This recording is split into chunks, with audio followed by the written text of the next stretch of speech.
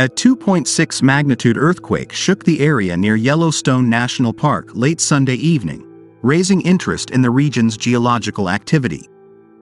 The quake, centered 61 kilometers southeast of West Yellowstone near Flat Mountain and Yellowstone Lake, occurred at 11:31 p.m. local time.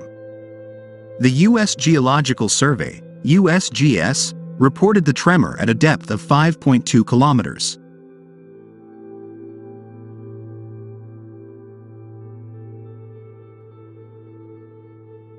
While no damage or injuries have been reported, this minor earthquake is a reminder of the active geological processes beneath Yellowstone. The area experiences 1,500 to 2,500 earthquakes each year, most of them too small to feel.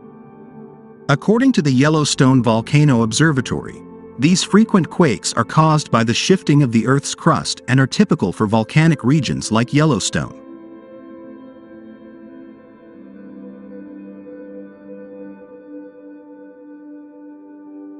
The quake also renewed public curiosity about the potential for volcanic activity in the area. Scientists at the USGS emphasized that Yellowstone's supervolcano is not overdue for an eruption, despite common misconceptions.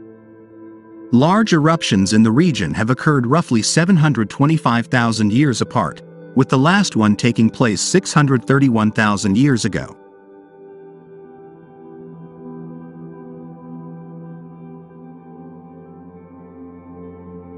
The volcanoes don't follow predictable schedules, the USGS explained, noting that the magma chamber beneath Yellowstone is only 5 to 15% molten, far below the amount needed to fuel a large eruption.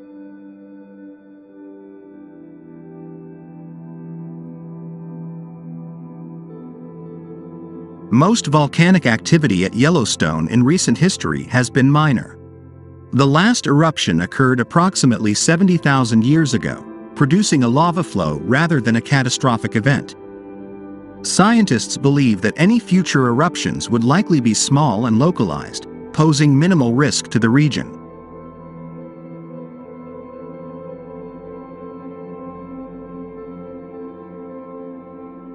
Visitors and residents in the area are encouraged to report any shaking they experienced through the USGS Did You Feel It? program. These reports assist researchers in improving seismic monitoring and understanding in Yellowstone area's activity.